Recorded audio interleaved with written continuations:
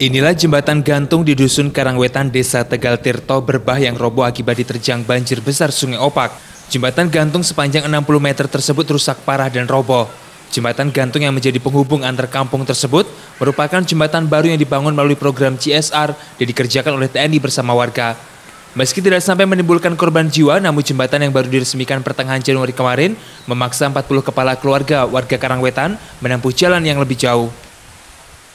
Itu hujan deras ini Pak, hujan deras di atas informasinya hujan deras di sini juga hujan deras jadi sangat luar biasa memang eh, air sungai opak ini meluapnya kemarin malam itu Hujannya jam berapa sekitar malam Pak?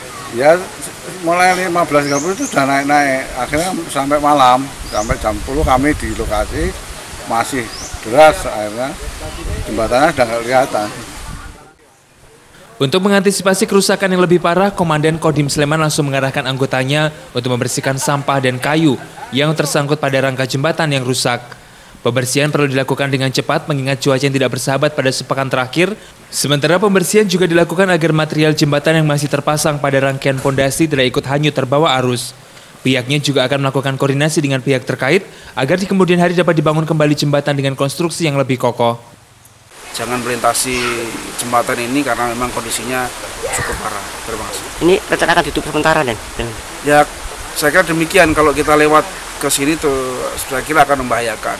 Nah, saya harapkan proses pembersihan ini dilaksanakan dengan cepat karena tidak menutup kemungkinan hari ini akan turun hujan atau mungkin besok sehingga kalau kita nggak laksanakan pembersihan dengan cepat ya kemungkinan rusak jembatan ini akan lebih parah dibandingkan yang kita lihat sekarang.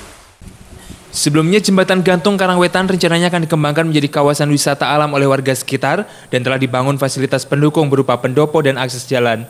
Dengan robohnya jembatan gantung tersebut tentunya menjadi hambatan bagi warga untuk segera dapat mengelolanya menjadi kawasan wisata. Hari Atmaja, Jogja TV.